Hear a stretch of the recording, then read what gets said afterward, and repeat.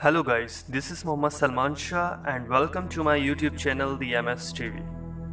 570 foot asteroid 2010 XC15 rushing towards Earth today, says NASA. Check Faris speed. A huge asteroid is all set to buzz Earth today at an extremely close distance. NASA has revealed key details about the asteroid. Though NASA regularly issues alert against small asteroids which frequently make close trip to Earth. It is seldom that large space rocks come train toward us, despite being hundreds of feet in width. These asteroids are still not large enough to cause catastrophic destruction which ends all life. In fact, NASA estimates an asteroid would have to be at least 96 kilometers wide to be considered as a planet killer. But it doesn't mean we should completely ignore all the alert issued by the space agency. The small asteroids are still capable of causing massive loss of life if they impact a crowded city.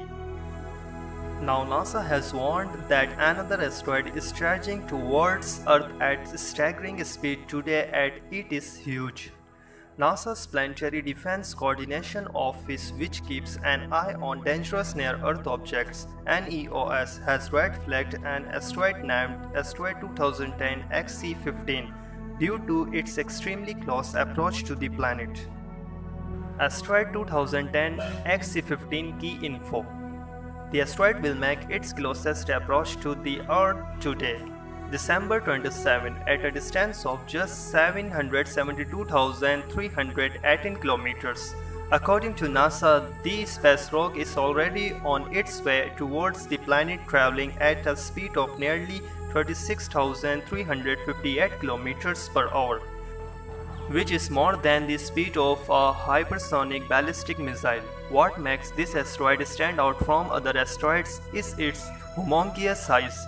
NASA has revealed that it is a 570 foot monster, making it nearly the size of a soaring skyscraper. According to the sky.org, the asteroid 2010 XC15 belongs to the Apollo group of asteroids.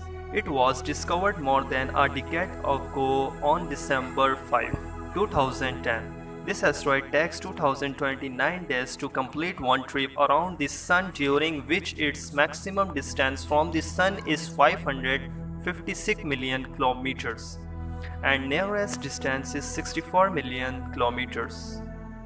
Did you know According to NASA, the orbits of asteroids can be changed by Jupiter's massive gravity and by occasional close encounters with planets like Mars or other objects. These accidental encounters can knock asteroids out of the main belt and hurl them into space in all directions across the orbits of the other planets. If you really like our video feel free to support us with a thumbs up and also don't forget to subscribe our channel and look forward to the videos that will be waiting for you in the future. Thanks for watching.